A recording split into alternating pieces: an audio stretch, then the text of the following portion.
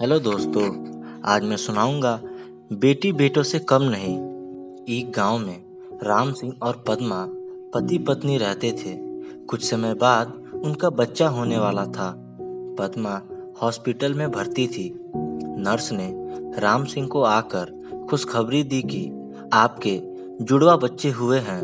राम सिंह ने कहा कि दो दो लड़के, लेकिन नर्स ने कहा कि एक लड़का, एक लड़की। राम सिंह लड़की नहीं चाहता था, क्योंकि लड़की की शादी में होने वाले खर्चे से वह डरता था। दो चार दिन के बाद राम सिंह अपनी पत्नी और बच्चों के साथ अपने घर पर आ गया। वह ज़्यादातर लड़के को ही खिलाता था। पद्मा को यह बात पसंद नहीं थी। एक दिन राम सिंह अपनी पत्नी से बोला कि हम दो दो बच्चों का खर्च नहीं उठा सकते। हमारी आर्थिक स्थिति अच्छी नहीं है।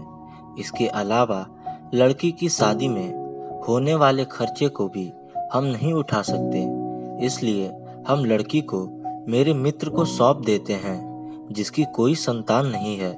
वह हमारी लड़की को हमसे भी अच्छे से पालेगा, क्योंकि वह बहुत अमीर है। पद्मा ने अपनी लड़की को देने से मना किया, लेकिन राम सिंह के कहने पर दुखी मन से उसने अपनी लड़की को राम सिंह को सौंप दिया। राम सिंह ने लड़की को अपने मित्र की बीवी को सौंप दिया। बच्चा पाकर वो बहुत खुश हुए। इसके बाद समय बीतता गया। राम सिंह अपने लड़के को अच्छे से पाल रहा था और उसकी हर इच्छा को पूरा करता था।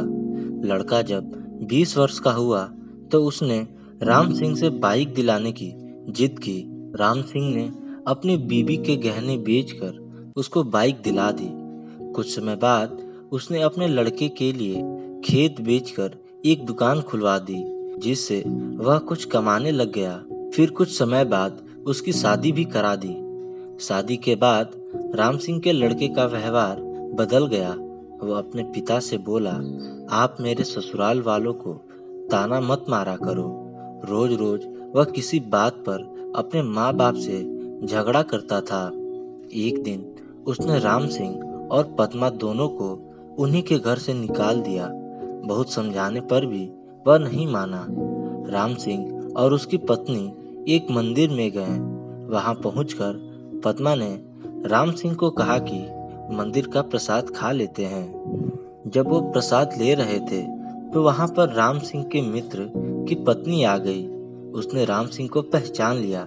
उसने अपनी उसी बेटी से राम सिंह को मिलवाते हुए बताया कि यह वही है जिसको आपने 25 वर्ष पहले हमको सौंपा था। आज यह एक डॉक्टर है और वृद्धा आश्रम भी चलाती है।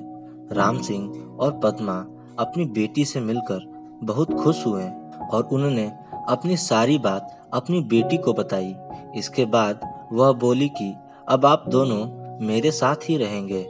इस कहानी से हमें यह सीख मिलती है कि हमें कभी भी लड़के लड़की में भेदभाव नहीं करना चाहिए। तो दोस्तों, कैसी लगी ये कहानी? कमेंट करके ज़रूर बताएँ और हमारे चैनल को सब्सक्राइब कर लें और ज़्यादा से ज़्यादा शेयर करें। धन्यवाद।